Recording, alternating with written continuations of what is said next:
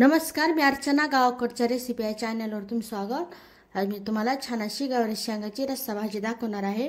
तर यामध्ये जास्तीचं कोणतंही वाटण घाटण नाही जास्ती साहित्य नाही आणि खायला एकदम टेस्टी अशी. तर पूर्ण एवढी पारेसिपीला सुरुवात करूया. तर गावरी शेंग अशी कट करून घेतलेली. थोडी भाजून घ्यायची सुरुवातीला. गॅसच्यात मोठी ठेवून डाग पडेपर्यंत भाजून घ्यायचं.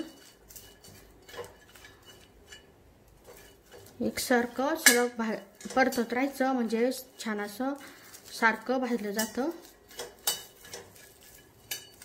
शेंगावर छान असे हलके हलके डाग पडलेले आहेत. खमंगाचा असा सुगंध सुटलेला. यामध्ये पाणी टाकायचं. काही सेकंद असं पूर्ण उकळीपर्यंत ठेवायचं. पूर्ण उकळी आलेली तर शेंगा काढून घेऊ. भांड्यामध्ये तेल टाकायचं. ह्यामध्ये कोथिंबीर आणि लसूणचं बारीक असं वाटण केलेलं. तेल तापल्यानंतर गॅसच्या कमी करायची एकदम मंद ठेवायची. छान असं परतून घ्यायचं. यामध्ये आता ह्या शेंगा थोडंसं परतून घ्यायचं. हळद टाकायची. घरगुती मसाला थोडंसं परतून घ्यायचं.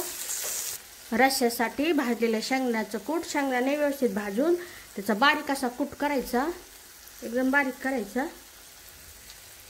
कूट टाकल्यानंतर व्यवस्थित थोडंसं परतून घ्यायचं. यामध्ये आता गरजेनुसार पाणी टाकायचं. जसा तुम्हाला रस्सा लागतो त्यानुसार पाणी टाकायचं. सुरुवातीला शेंगदाण्याचं कूट जास्त नाही टाकायचा. गरज पडली तर नंतरही टाकायचा. कारण शिजत आलं की थोडासा घट्टसरपणा येतो. रस्सा भाजीला.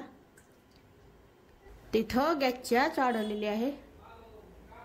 यामध्ये चवीनुसार मीठ व्यवस्थित अशी उकळी आलेली आता गॅसच्या एकदम मंद करायची.